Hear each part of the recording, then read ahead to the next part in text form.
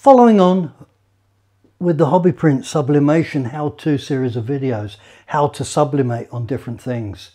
We used a couple of different printers to create some images. If you've watched it, you'll remember that. So all I've done is I've put some heat tape on the back here and I'm going to position it on a sublimation coated mug. Please bear in mind you cannot use a normal mug. So all I do, and I'm not going to worry too much about accuracy on this, it's a principle of getting it on.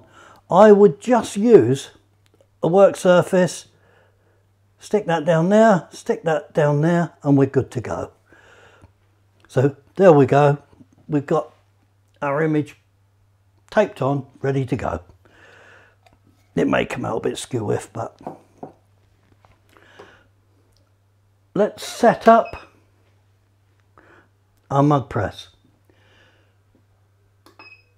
We work in centigrade, 182 degrees centigrade, 210 seconds. I'm going to explain, I'm going to come back to the 210 seconds, but let's get the thing warming up. I have partially warmed it up. We would normally look to do a mug for 180 seconds, three minutes, and we know from experience that works great. But what you've got is once it is up to temperature, you then put a cold mug into the mug press and you have heat transference from the element into the mug. The 30 seconds, what we call dwell time, allows that process to go through where you've transferred heat from the element and you've rebuilt the temperature back into the element. So that explains that. Now look, we're good to go here. I'm just going to pop our mug in. I've already preset the pressures.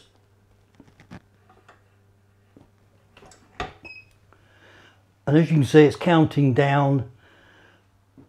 Again, to reiterate what will happen, the mug, cold mug, is going to get warmed up, the element is going to cool down and then it's going to build back up again in temperature. We think that takes approximately 30 seconds. It varies, but it's pretty close. Then you come into 180 seconds and that is a sublimation process starting for that period of time.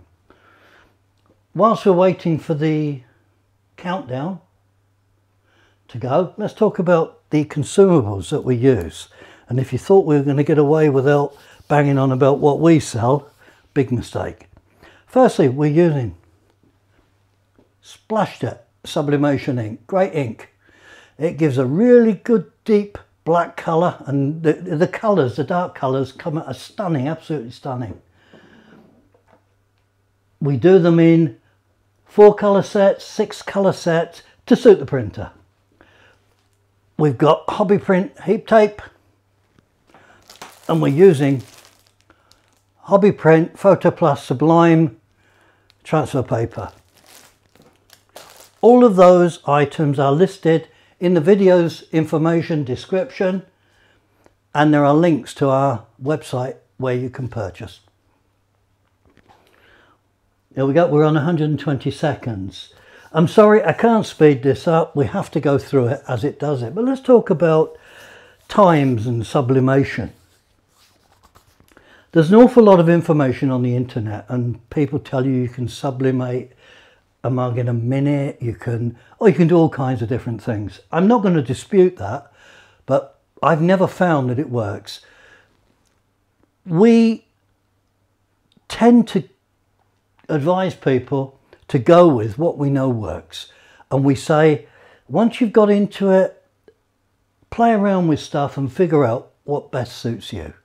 When you come to um, water bottles, aluminium water bottles, I did listen to what people said and I reduced it down to a minute. Wow, what a nightmare getting the transfer paper off. That took far longer than the three minutes normally. Another thing I would say is always gently quench the mug after you've done it. I would use warm water and gradually increase that to cold um, that will cool the mug down. The advantage of that, it makes it dishwasher safe.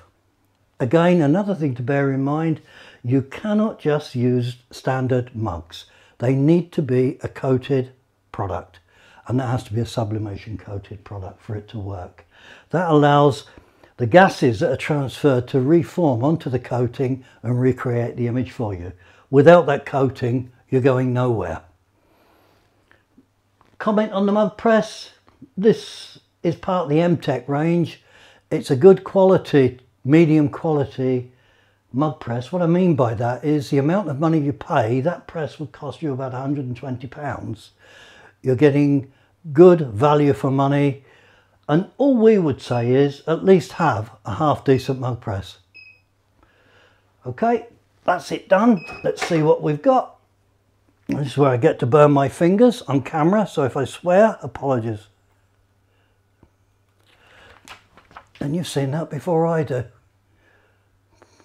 There we go. That's pretty good, isn't it? And it's that easy. Thank you.